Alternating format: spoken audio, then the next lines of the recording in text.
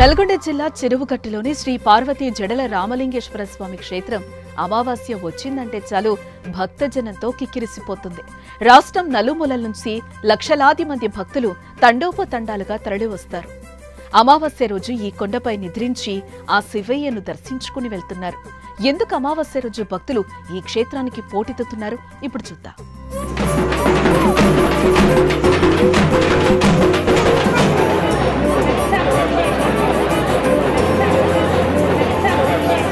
నల్గొండ జిల్లా నార్కెట్పల్లి మండల కేంద్రానికి ఆరు కిలోమీటర్ల దూరంలో చెరువుగట్టు గ్రామంలో ఈ ఆలయం వెలసింది. ఆ గ్రామానికి తూర్పు వైపున ఒక చెరువు ఆ చెరువు గట్టున పార్వతీ సమేత మల్లికార్జున స్వామి దేవాలయం ఉంది. ఆ దేవాలయానికి పశ్చిమాన గల కొండపై శ్రీ జడల రామలింగేశ్వర స్వామి ఆలయం భక్తులను విశేషంగా ఆకర్షిస్తోంది. ఈ క్షేత్రం నల్గొండకు పద్నాలుగు కిలోమీటర్ల దూరంలో అద్దంకి నార్కెట్పల్లి ప్రధాన రహదారికి ఒక కిలోమీటర్ దూరంలో ఉంది.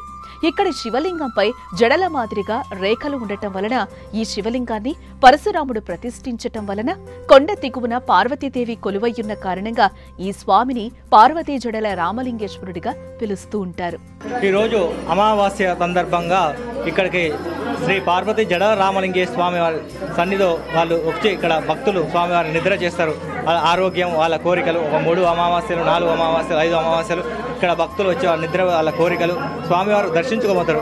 అభిషేకం అర్చన అలాంటి ఏముండవు. ఓం స్వామివారు దర్శించుకోబోతారు. లక్షల మంది ఒక లక్ష మంది దాదాపు వస్తారు. మూడు గుండ్ల పైగా మూడు గుండ్లు ఉన్నాయి మూడు గుండ్ల ఎక్కి అక్కడ దర్శనం చేసుకొని వెళ్తారు ఇక్కడ. కొండ పైభాగాన మూడు గుండ్లుగా పిలువబడే రాతి బండల మధ్యలోని మరొక శివలింగాన్ని కూడా భక్తులు దర్శించుకుంటూ ఉంటారు.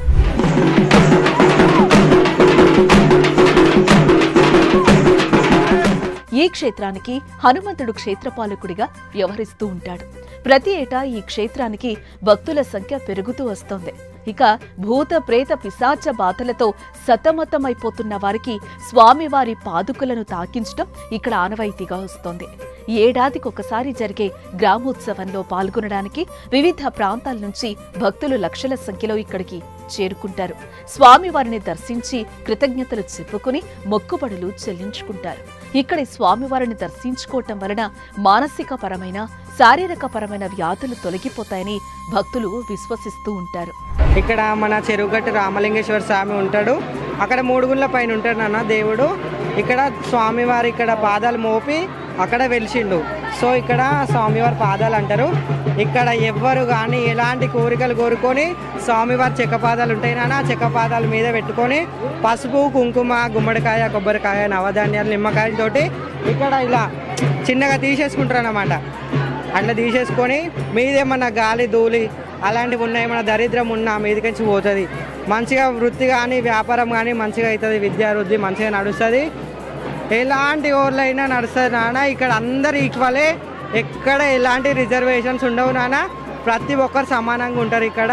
స్థల పురాణం ప్రకారం పూర్వం హైహయ వంశ మూలపురుషుడు కార్తవీర్జార్జున చక్రవర్తి సపరివారంగా వేట కోసం దండకారణ్యానికి బయలుదేరాడు. అవిష్టాంతంగా వేటాడిన పిదప బడలిక్కకు గురైన చక్రవర్తి సపరివారంగా సమీపంలోని జమదగ్ని ఆశ్రమానికి వెళ్ళాడు అప్పుడు జమదగ్ని మహర్షి తన దగ్గరున్న ధేనువు సాయంతో క్షణాలతో వేలాది సంఖ్యలో ఉన్న రాజపరివారానికి షడ్రసోపేతమైన విందు భోజనాన్ని ఏర్పాటు చేశాడు. ఆ ధేనువు మహత్తును మహర్షి దగ్గర అడిగి తెలుసుకున్న కార్త వీర్యార్జునుడు తనకు ఆ ధేనువు కావాలని అడుగుతాడు.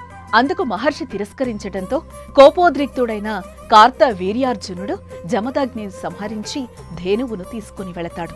ఆ సమయంలో పరశురాముడు బయటకు వెళ్ళి తిరిగి గొడ్డలితో కార్త వీర్యార్జుని సంహరించి ఇరవై ఒక్కసార్లు భూప్రదక్షిణం చేసి క్షత్రియ సంహారం చేస్తాడు.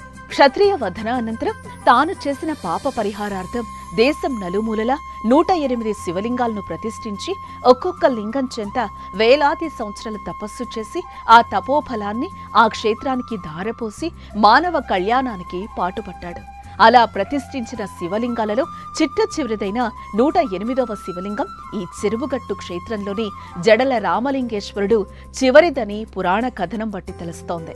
ఈ ప్రదేశంలో పరశురాముడు శివునికి వేడుతూ ఎంతకాలం తపస్సు చేసినప్పటికీ శివుడు ప్రత్యక్షం కాకపోవడంతో కోపగించుకున్న పరశురాముడు తన గొడ్డలితో శివలింగం ఊర్ధ్వ భాగంపై ఒక దెబ్బ వేశాడు. అప్పుడు శివుడు ప్రత్యక్షమై ఇంతకాలం నువ్వు తపస్సు చేసిన ప్రాంతం ప్రముఖ శైవక్షేత్రంగా వెలుగొందుతుందని కలియుగాంతం వరకు తానిక్కడే ఉండి భక్తులకు అనుగ్రహిస్తూ ఉంటానని చెప్పాడు. అనంతరం పరశురాముడు కూడా ఇక్కడే లింగాకృతిని పొంది శివ ఆయుధ్యాన్ని పొందాడట. పరశురాముని ఆత్మలింగం జడల రామలింగేశ్వర ఆలయానికి దరిదాపుల్లో వేరొక గుహలో ఉంది. రామలింగేశ్వరుని ఊర్ధ్వ భాగాన పరశురాముడు గండ్రగొడ్డలితో దెబ్బవేసిన చోట జడలు వంటి నిర్మాణాలు ఉన్నాయి. అందుకని స్వామిని జడల రామలింగేశ్వర స్వామి అని అంటారు. ఇక్కడ జడల రామలింగేశ్వర అని ఉంటుంది. శివునికి ఒక పక్క జడలు ఉంటాయి. అందువల్ల ఇక్కడ బోనాలకు ప్రత్యేకత. అమ్మవారు కోరిన కోరికలు కొంగు బంగారం చేస్తుంది కొరి కొడుకులకు కొడుకులు ఇస్తుంది అడిగిన వాళ్ళకు ఆడపిల్లలు ఇస్తుంది అమ్మవారు అడుగడుగున మనకు ఉంటుంది అది ప్రకృత. కొండపై గుహలలో గల జడల రామలింగేశ్వరునికి పన్నెండవ శతాబ్దానికి చెందిన కాకతీయ గణపతిదేవ చక్రవర్తి గుహాలయాన్ని నిర్మించాడు. ఈ ఆలయంలో తొలి ఏకాదశి నాడు కార్తీక సోమవారాల్లో పౌర్ణమి మహాశివరాత్రి పర్వదినాల్లో కడువైభవంగా ఉత్సవాలు జరుగుతూ ఉంటాయి. అలాగే ప్రతి ఏటా వార్షిక బ్రహ్మోత్సవాలు జరుగుతాయి. ఇటీవల కాలంలో ప్రతి అమావాస్యకు బ్రహ్మోత్సవాలకు మించిన భక్తులు హాజరవుతున్నారు.